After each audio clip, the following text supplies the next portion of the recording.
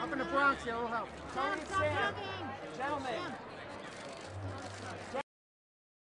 Well, she's she's fierce. I mean, she's a force of nature. She's she's amazing. I, there's, a lot, not, there's a lot to say about her.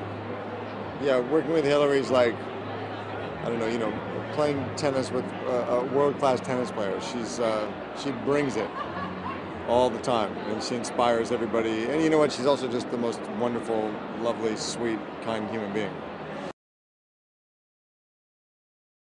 Especially, you know, independent movies are only happen because somebody had a vision in their head and was dogged enough or stupid enough not to, to not accept no for an answer. So the fact that you get it made, you get it in the theaters, and you end up here to talk about it is pretty uh, much qualifies as living the dream. Uh, that's right. That's right.